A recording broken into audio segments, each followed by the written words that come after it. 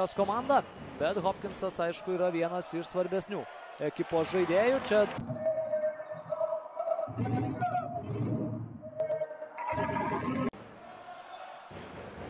Šulskis į kraštą Šeškui, šis į baudos aikštelę, labai sudėtingas Šeškaus taškai krepšyje. Ir, na, atrodo, randa žmogų Dodai, Bičkauskis iš toli.